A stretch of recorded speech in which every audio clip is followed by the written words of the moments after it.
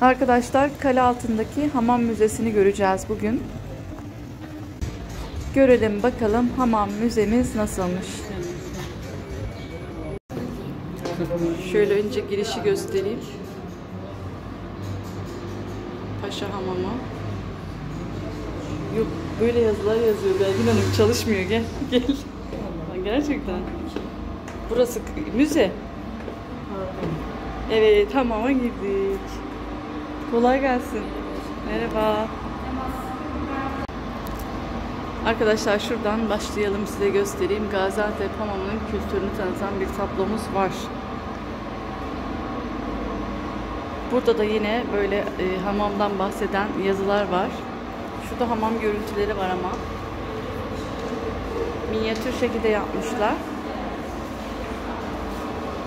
Şöyle hamamda giyilen terlikleri göstereyim. Tabi bunları happap diyorlardı bizde. Yazıyorum ismi. Takunya. Biz çocukken happap diyorlardı. Takunya bunlar da. Taslarımız. Ay çok çeşitli taslar var arkadaşlar bakın. Bu bakır taslarda hamamda yıkanılırdı eskiden. Tabi şu an plastikler kullanılıyor.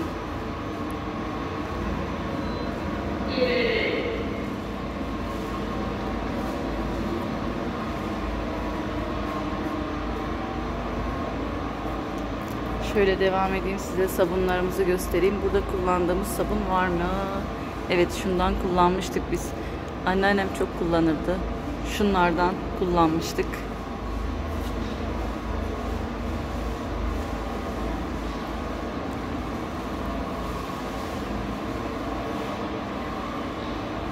Bunlar da erkeklerin giydiği yine happap takınya. Mumdan adamlar da yapmışlar arkadaşlar. Hamamlarda yenilir, içilir bizde tabi meyve tabağı konulmuş. Nargile içildiğini bilmiyordum. Nargile de içiyorlarmış.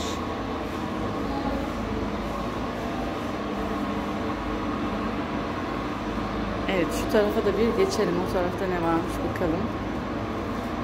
Bu arada sabun almak isteyenler için de böyle 2 TL'lik bir yer yapmışlar. 2 TL'ye sabun alabiliyormuşsunuz arkadaşlar. Banyo kazanlarıymış bu. Ben de sizle birlikte ilk defa görüyorum. Aa, Antep işi. Bunlar bizim Antep işlerimiz arkadaşlar. Nakışlarımız, çeyizliklerimiz. Şurada yine taslar var. Eski taslarımız. Şurada yine sabunlar. Şurada minik bir çeyiz sandığı.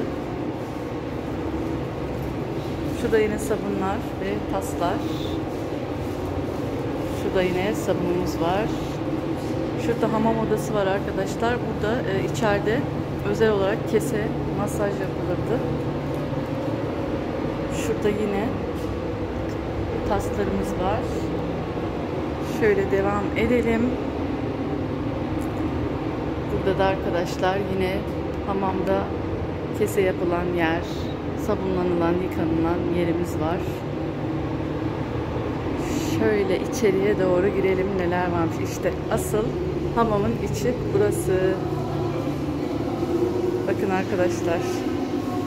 Bizim hamamlarda bu şekilde ortada böyle sıcak taş ne diyemiyordu buna? Göbek taşı. Evet. Göbek taşı var. Hanımlar böyle eğlenceli, keyifli şekilde hamamlarını yaparlardı. Yine öyle devam ediyor ama bu kadar değil tabii ki. Tarih zamanında daha güzeldi. Burası da bakım yeri. Burada bakımlarını yapıyorlar. Burada yine curun var arkadaşlar. Bu curundan su akıyor tabii eskiden. Burada yıkanıyorlardı. Şuraya bir girelim. Burada da arkadaşlar böyle özel odalar tabii ki var. Bebekler falan yıkanıyor, kırklanıyor bebekler. Anne kırklanıyor. Bebek sesi koymuşlardı oraya duydunuz mu? Şöyle devam edelim. Ey hamamcı, hamamına güzellerden kim gelir ne bileyim efendim günde yüz bin can gelir demişler. Şöyle devam edelim arkadaşlar. Şurada yine böyle bir curunumuz var. Yıkama yerimiz. Burada yine tarihi malzemeleri koymuşlar. Taslar, bardaklar, şu bardaklardan bizlerde de vardı. Çocukken kullanırdık. Eskilere gittim ben de. Antep hamamları. Antep hamamlarının arkadaşlar burada işletmecilerinin resimlerini koymuşlar. Mimarilerini. Evet. Antep hamamımız bu şekilde. Çok güzel. Müze şekline getirmişler. Biz de görmüş olduk. Ben de ilk defa görüyorum zaten arkadaşlar. Ve çok beğendim. Çok güzel bir müze olmuş. Hamam müzesi. Aa, arkadaşlar bunun ne olduğunu biliyor musunuz? Ben biliyorum. Belgin Hanım bu neydi? Şamşırak bu arkadaşlar. Şamşırak'ta bizde e, gelinlerin, e, yeni gelinlerin başlarına dökülür. Yıkanılır hamamda. E, burada da anlatmışlardır belki. Evet, burada da anlatmışlar. Buradan da okuyabilirsiniz yine arkadaşlar. Evet arkadaşlar, size tarihi hamam müzemizi göstermiş oldum. Şöyle de yine etraflıca size göstereceğim. Gaziantep'e gelen arkadaşlar burayı ziyaret edebilirler.